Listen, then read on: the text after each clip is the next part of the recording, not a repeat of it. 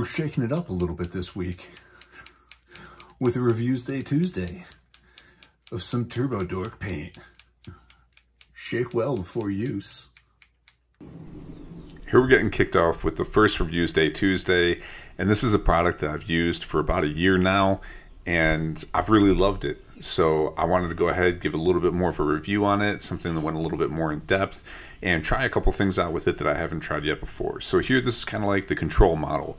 Solid black base, three to five thin coats of Turbo Dork uh, color shifting metallics. This first one we're using laser face. I'm gonna slap that on the blades. And I haven't used this one before. This was a new uh, color for me and I really, really did like it. So one thing you'll notice is every now and then it'll pop up in here where it kind of like clumps up. It has like this froth almost texture. That's when there's not enough room to pull it out and drag it across when you're doing a real small area and you just get a little bit too much on there. So this is pretty tricky uh, at times and you just got to kind of practice with it and get used to the flow. Now I'm switching over to Two Cents. This is a fantastic color. It doesn't really shift too much with any other colors, but it's really bright, really vibrant. For something like a spell effect for uh, AOS, it is fantastic. Again, this one here is just the control. Uh, we're going to get into a couple more here where the basing is going to be a little bit different and see how it holds up with that and see what type of effects that we get. And the last thing I'm going to do is take some black iced and I'm going to do all the smoke with that. Uh, the black ice is really nice. Uh, I've used it to help out with some armor on like some vampires and some darker themed things, just to do a really quick coat that you're doing. And here you can already see that like shine and transition on that just from the very first coat going on.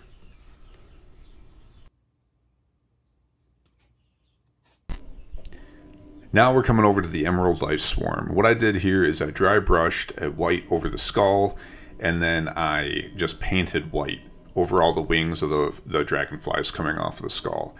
How do I feel about the twin suns over the dry brush skull? I'm pretty indifferent on it. I think it's got some pretty neat features to it, but overall, I think it just works better over a black.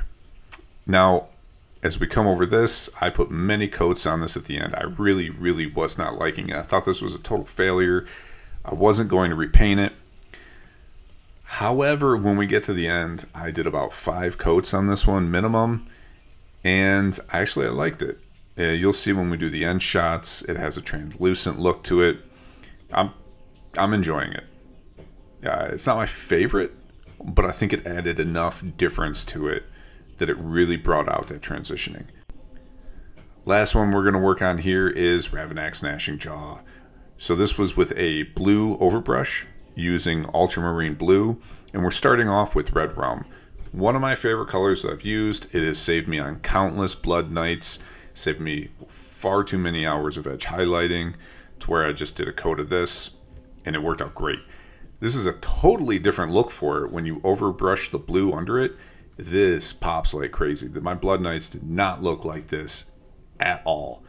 I really dig it. It works out great for a spell effect. Would it work out great for an armor? maybe. Uh, it wouldn't work out great, in my opinion, for Blood Knight armor like this, but for the spell effect, it works fantastic. So I think this goes to prove that as long as it's a color that works well with one of the transitioning ones that you're using, it's it's going to come out fantastic. Now you use a yellow, it might fall flat. If you use a purple, you'll probably come out pretty darn nice. Here we're just going to finish it up, make sure all the teeth are done and we're going to shift and blend this one into more colors. And this one is Prism Power. Prism Power looks like it's primarily a pink, so when you pick up the bottle, the paint itself is pink, and it shows that it transitions into a blue. My complaint about it is that it paints primarily as a blue. There's a lot of pink in there, you can't deny that, and it's a fantastic color, and it looks great with that blue overbrushing underneath it but I thought this was going to be more of a pinkish color, uh, which I don't even know why I bought it because I had zero application for it, but I'm not regretting it because it looks great.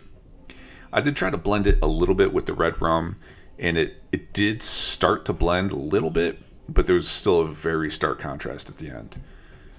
Uh, I enjoyed it, and here we're going to come to the last one, Ice to Never. I do love this color, and I think the blue overbrushing was kind of lost on this one. I don't think it did it any favors. It definitely didn't do it any harm. This blended extremely well with Prism Power, and it was a very nice natural transition from one to the other. Now, no, I am not painting the inside of the spell effect because I don't want to lose my GD mind. Uh, that was a struggle enough just to prime the whole thing and make sure you didn't have these glaring red spots from the model itself.